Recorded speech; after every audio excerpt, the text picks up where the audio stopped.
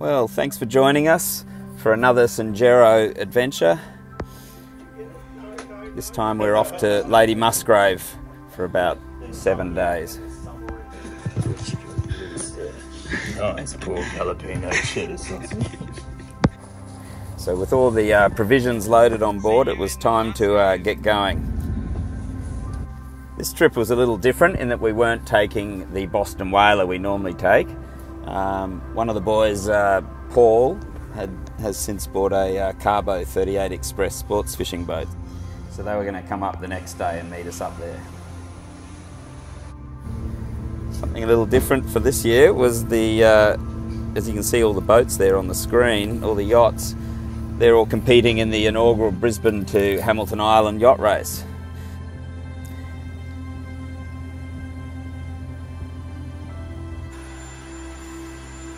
So I know you all love a quick look around the engine room. They are one of the features of these beautiful Nordhavn boats. Um, as you can see there, that's the wing motor. So it's a separate engine with its own shaft and feathering propeller. They call it the get home engine in case you had a catastrophic breakdown on the main. That's all our fuel management system, which we can look at a bit more later.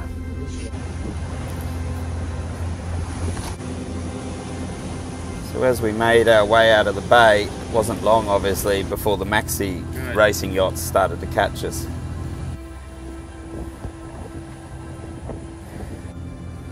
What are they going about?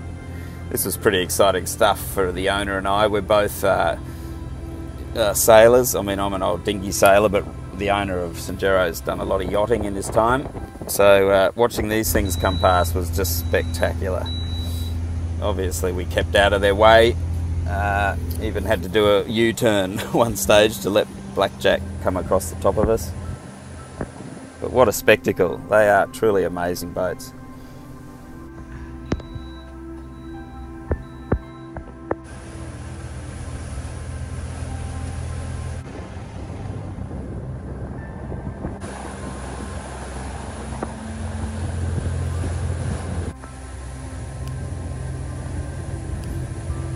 So it was a bit of a funny situation in that they also were trying to keep out of the East Australian current, which put us all close to shore, which continued all night.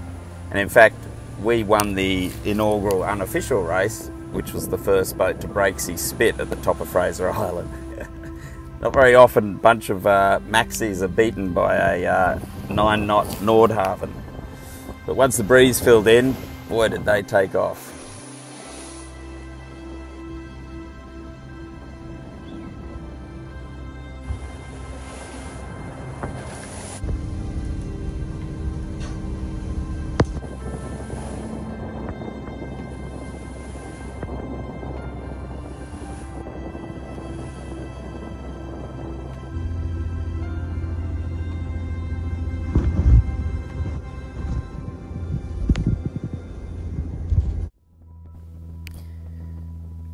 So we eventually got to Musgrave at about 3 pm the evening before, and uh, this is early morning on the next day. Conditions weren't too bad, but we had no game boat at this stage. So it was just the three of us on board, which was fantastic opportunity to get some extra jobs done.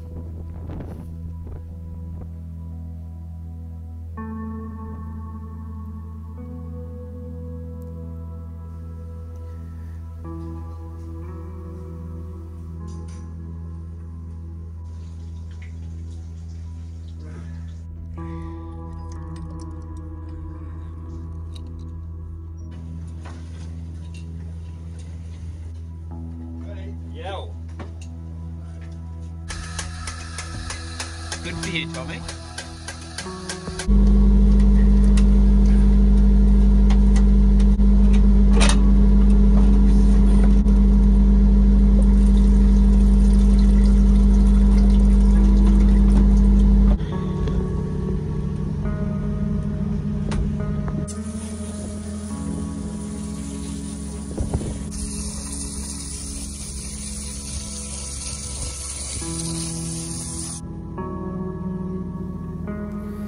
With a few things ticked off the list, Tommy and I thought there was time to have a quick fish, see what we could find. We need rod holders. All good? Yeah.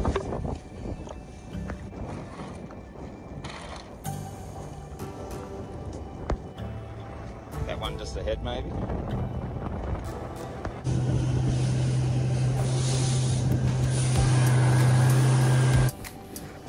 So we took some pillies with us and some lures, obviously. Idea was to do a bit of uh, sort of floating some pillies down around various bommies, looking for a trout. No, last pilly.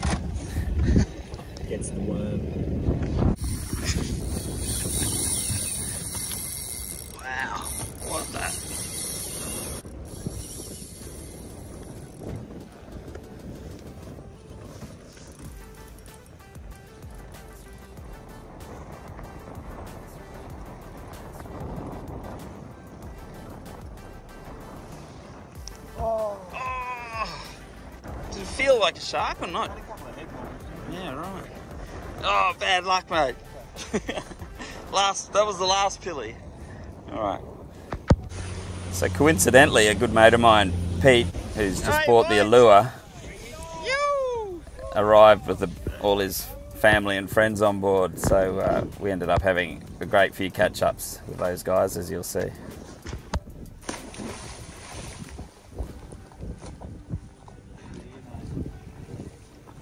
Such beautiful conditions, we thought the best way to all catch up is the sunset drinks in on the beach.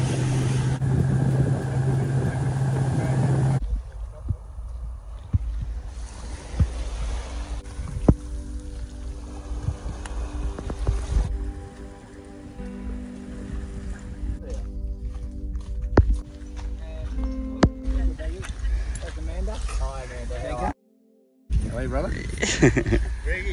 yeah, Rob. There you go. Good. Good.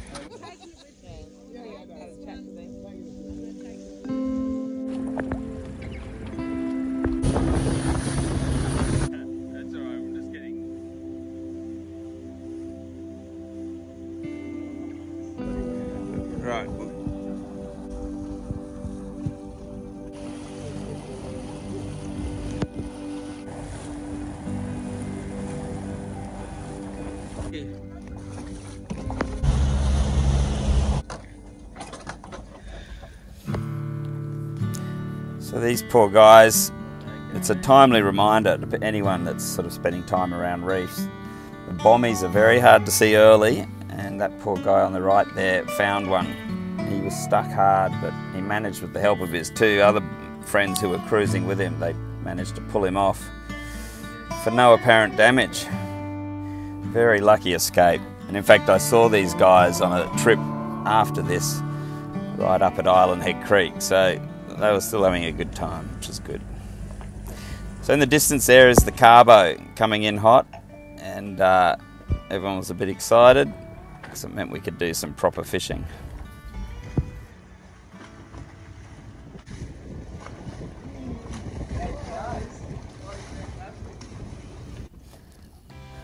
So they literally tied up for about 20 minutes and we were out of there again.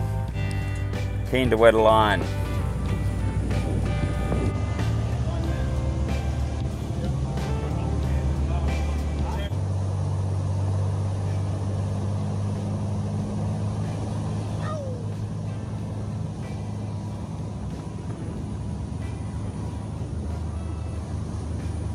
No, I love these little Cabos.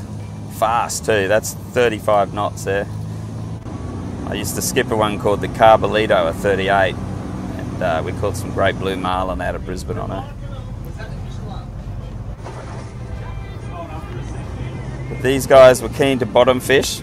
Wasn't really the right time of year to go looking for blue marlin out there, but I think there are a few around, but not in numbers yet.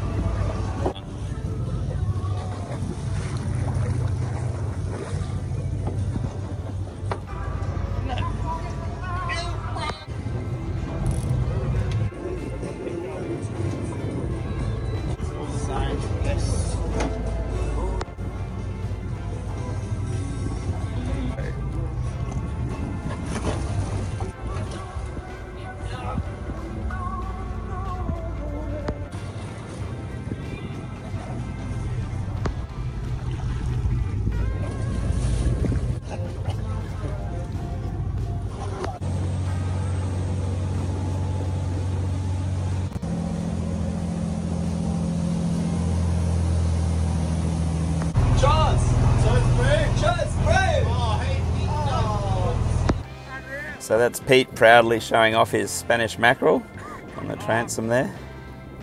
So they did well. But we found it pretty tough going on the bottom, and uh, but we put a feed together.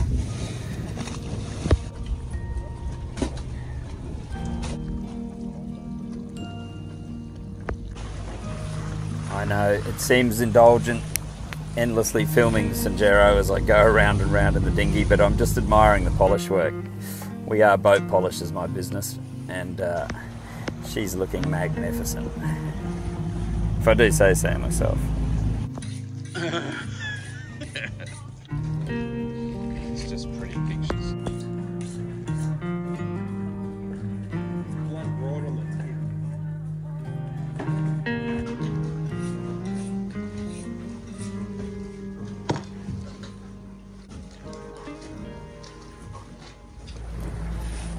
We woke to another sunny day, but you can't tell, but it was actually quite cold, and we did have about 15 to 20 knots of southerly there. So, but that didn't stop us. After brekkie, it was off fishing again.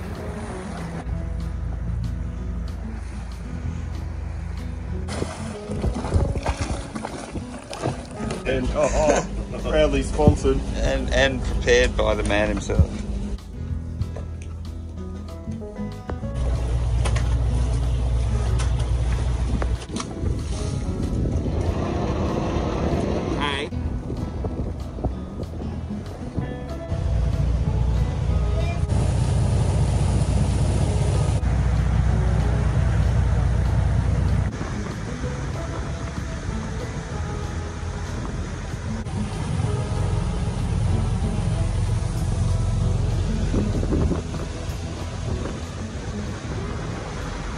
Hey. Boo. Oh, little mackerel.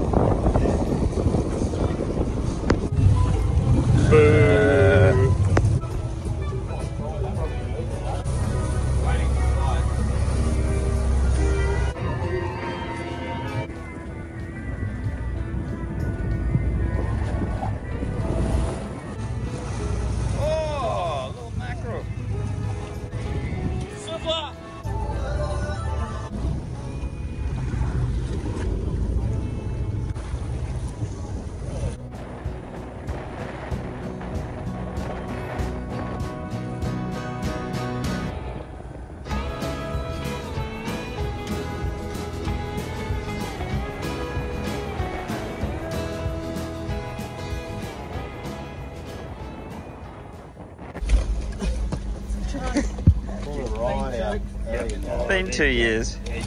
Oh yeah, that's the way. Oh! Oh, you flooded it. Oh, you fucking Uh, not an anchor. Oh. Hey! It's a trim. He didn't turn Your life jacket. What could possibly go wrong? While that ship of fools headed for the beach, we packed up the bigger dinghy and went in also for an afternoon drink session. You could actually tuck around the back of the island here out of the wind and it was just mag- magic as you can see.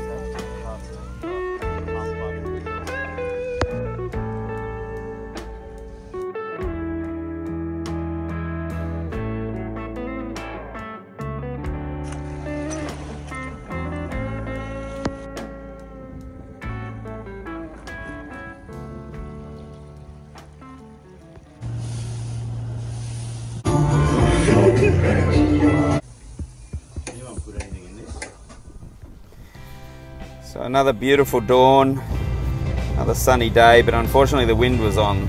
We had closer to 20 knots southerly.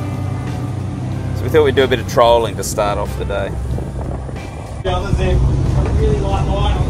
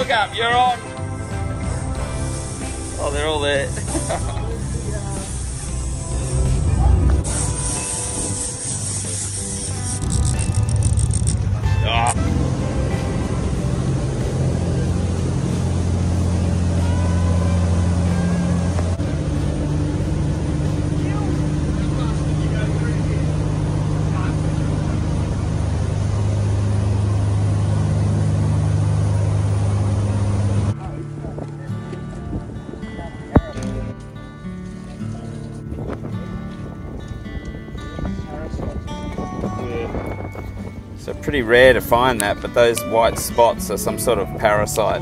So of course we didn't eat that fish.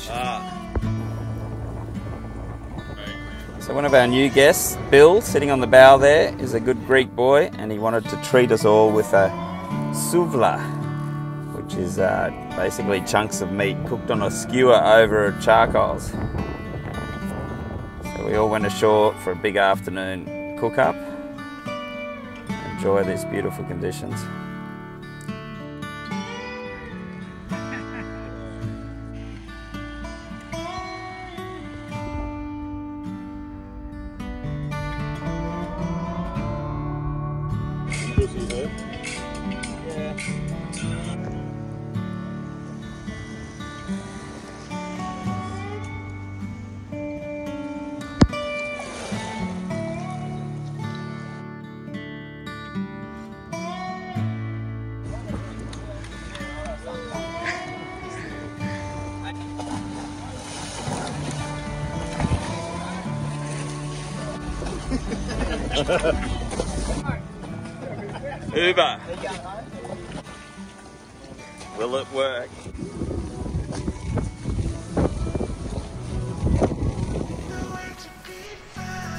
While Paul executes the perfect pencil dive, we contemplated what to do. It was windier than the day before and colder. But we're all keen to get out there and have another bottom fish.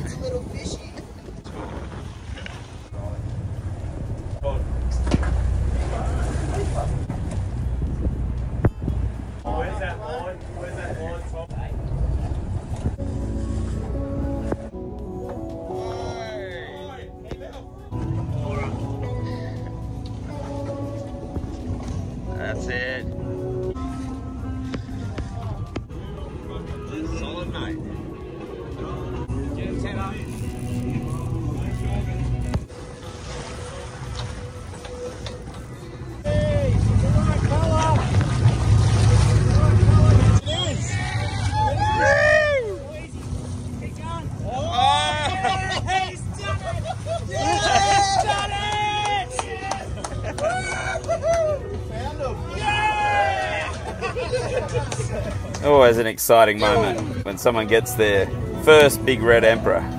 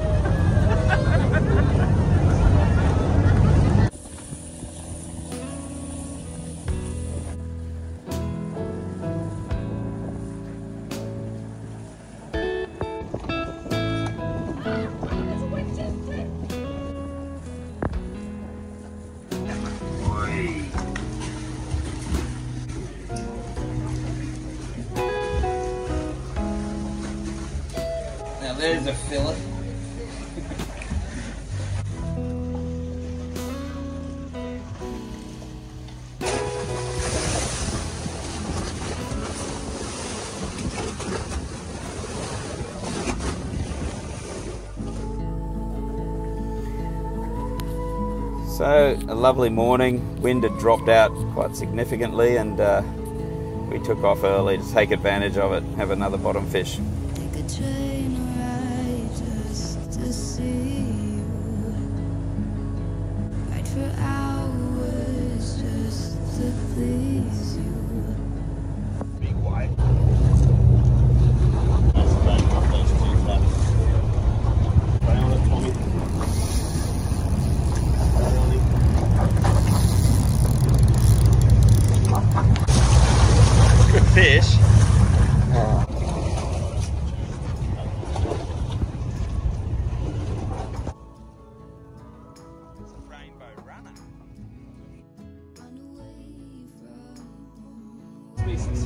All good. Everything's good.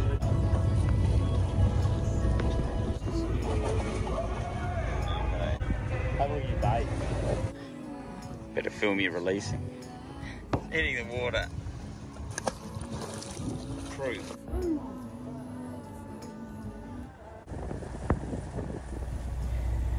So back into the lagoon for a nice afternoon, relax. There's also time to fuel up the Cabo because they were going to get going first thing in the morning back to Brisbane. So I rigged up this fuel system here where I use the uh, transfer pump, pump it through, and uh, it worked a treat.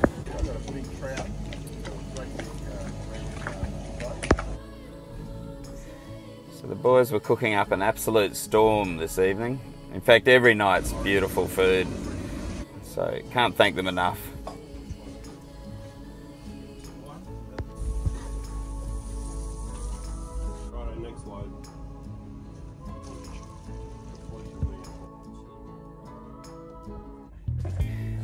So as you can see, conditions had really moderated, which was perfect timing for the Cabo boys. They thought they'd take advantage of it and fish their way south, some of those grounds up off uh, the top of Fraser and See you, mate. working their way home to Brisbane.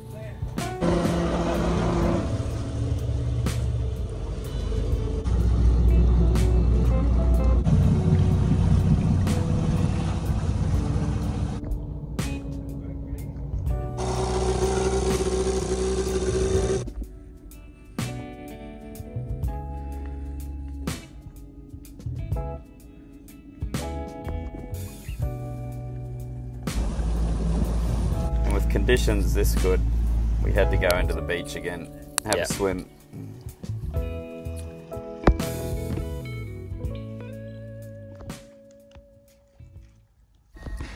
And it was also perfect conditions to put the drone up. See if we can get some nice footage of uh, Lady Musgrave Lagoon and the boat.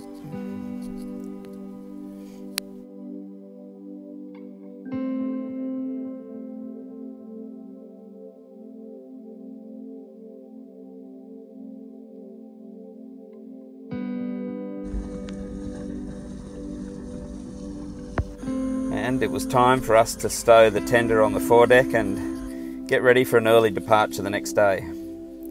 But while doing that, incredibly, a tender appeared out of nowhere, which happened to be my cousin David, who was out there in his little small boat with his wife for the whole week, would you believe?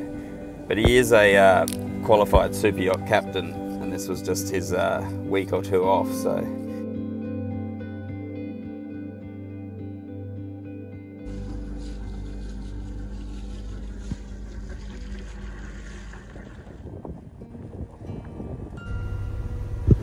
So we waited for the sun to come up enough to make our way out of the lagoon and avoid all those bombies. That's the sonar, that's obviously a great help as well. There were still lots of whales around, even though it was the tail end of the season. They were all heading south again. But this water is so good all the way down to Fraser that we had to run some lures, of course. And would you believe it, within about 10 minutes, we both watched a marlin come up, grab the lure, and pull a bit of line, but drop it. Yeah. Not since I. I oh yeah, dorsal fin out, bill out. Yeah, can you give me a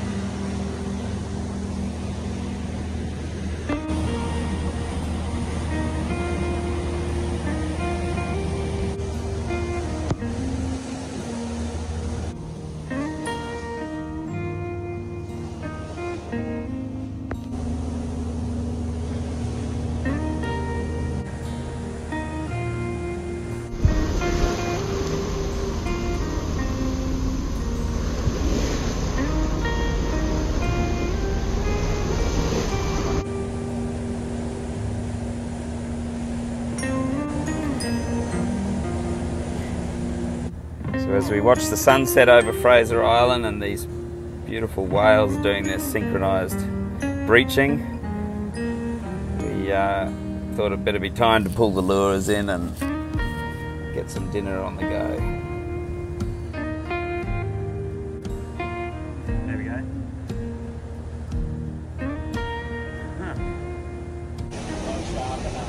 Isn't it? That's the lure we got a hit on earlier. So, with just the three of us on board, we were doing three hour watches on our own on each watch, but that worked.